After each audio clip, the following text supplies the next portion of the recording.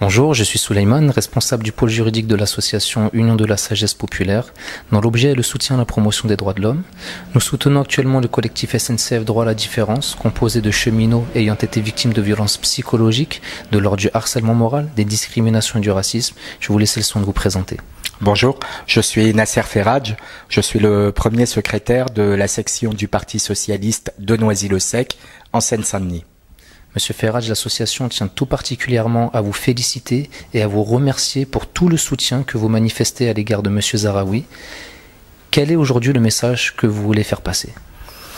C'est un message que je souhaiterais adresser directement à Monsieur le Président de la République, à mon camarade François Hollande. Monsieur le Président de la République, je souhaiterais attirer toute votre bienveillante attention au sujet d'un jeune homme de 24 ans, Yassine Zaraoui. Depuis le 12 mai, il est installé à quelques mètres du palais de l'Élysée, entamant une grève de la faim, devenu un jeune pour des raisons de santé. Je sais qu'il ne suffit pas de venir déplier sa chaise de camping devant votre bureau pour être reçu, mais sa situation me semble suffisamment tragique pour mériter toute votre attention. Monsieur le Président de la République, vous n'auriez sûrement pas été de ceux qui auraient ignoré Rosa Parks dans l'Amérique ségrégationniste. Yassine Zaraoui est nourri du même courage que Rosa Parks, mais il n'est pas dans cette Amérique des années 60.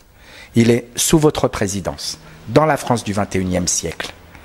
Yassine est un de ces milliers de jeunes travailleurs que vous aviez rencontrés dans son quartier à Creil. À cette époque, vous aviez promis aux habitants de Creil, comme à ceux de la Seine-Saint-Denis, vous, président de la République, vous ne permettriez jamais que des jeunes Français soient rejetés par notre société en raison de leurs origines. Le changement, c'est maintenant.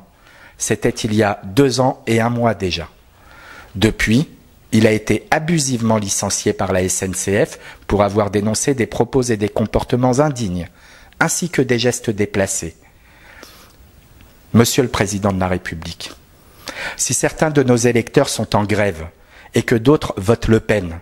C'est qu'ils ne croient plus ni au slogan, ni en cette volonté que vous aviez de vous pencher sur leur sort.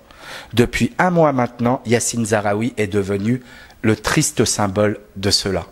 Pour ma part, je reste bien sûr persuadé du contraire et j'espère par ces quelques mots parvenir jusqu'à vous en esquivant les filtres qui vous protègent de tout contact avec ces réelles situations de vie. Pour Yacine, le changement, c'était de pouvoir travailler, de se construire un avenir, sans subir ses railleries et ses amalgames sur ses origines et sur sa religion. Cela n'aurait plus dû être permis. Au lieu de ça, il se retrouve sans emploi et dort dans votre rue. Il peut compter sur la solidarité de quelques habitants et commerçants, mais il est très fatigué et ses espoirs s'évanouissent de jour en jour. Vos conseillers, eux, l'ignorent quotidiennement, comme on ignore nos banlieues jusqu'à de prochaines élections. Être socialiste, militant ou président, ce n'est pas devenir un agent dormant du Front National qui prospère sur ce mépris de classe. La diversité d'en bas, elle, n'a toujours pas les mêmes droits. Tout comme les nombreux élus crayois venus soutenir leurs concitoyens, je joins ma voix à celle de Yassine Zaraoui pour vous réclamer humanité, Monsieur le Président humanité pour ce jeune homme. Monsieur Ferrach, c'est un très beau message. Nous espérons qu'il pourra solutionner cette problématique dans les plus brefs délais. Et je vous renouvelle au nom de l'association tous nos remerciements et je vous dis à très bientôt. À très bientôt, Souleyman. Merci.